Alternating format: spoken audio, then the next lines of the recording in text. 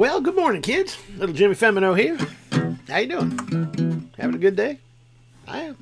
So I'm sitting here, and you know, it occurs to me that as a parent, you know, you have to teach your your kids, you know, as, as you're they're growing up and you're growing older, you need to teach them life lessons, things that you've learned, you know, in your life to help them better live their lives. And just this morning, I was having a discussion with Art, my oldest son, and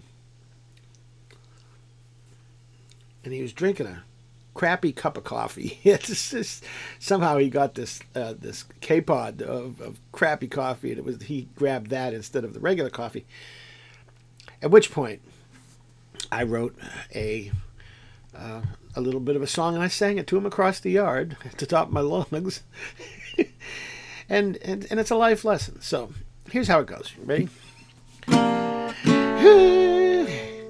You don't ever skimp on coffee or condoms, cause it could ruin your day. You don't ever skimp on coffee or condoms, and you don't want to learn the hard way. The thing you want from most both is they gotta be strong. And if you need a reminder, just remember this song. You don't ever skimp on coffee or condoms, cause it could ruin your day. All right, my job is done for the day. I have shared some life knowledge first with him, now with you. Go have a great day. God bless. Know you needed, know you loved.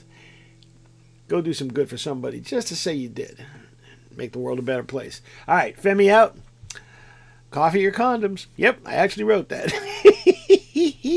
See ya.